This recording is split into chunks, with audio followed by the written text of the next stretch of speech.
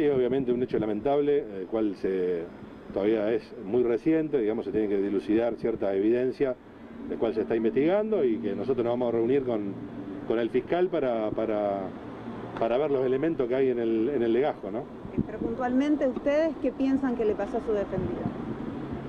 No, que pensamos, digamos, lo que, que lo, lo, que pasó fue que obviamente fue tuvo una entradera en, su, en la puerta de su domicilio, eso está está corroborado, hubo disparos de arma de fuego en contra de él, hubo un robo y bueno, él tomó la decisión después de eso, si bien los familiares advirtieron al padre, que fue a la comisaría para informar, él se la, a la camioneta y como te manifestaba anteriormente, eh, lo siguió para intentar detenerlo y bueno, después pasó de alguna manera lo que pasó, que todavía se está investigando, ¿no? Nosotros consideramos que de ninguna manera hay un homicidio doloso ni una intención de matar, sino que estamos considerando en esta instancia que ha sido un accidente.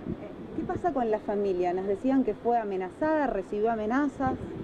Sí, generalmente, efectivamente, bueno, obviamente que durante el día de ayer, ahí en la zona eh, hubo un gran operativo del, del personal policial eh, y, y, bueno, se acercaron muchas personas al lugar del hecho eh, y bueno, allí, sin poder todavía estar identificados, eh, han recibido ellos en ese momento eh, amenazas y bueno, eh, por cual tomaron la determinación de retirarse del domicilio, ya no están viviendo ahí, estamos pidiendo custodia policial.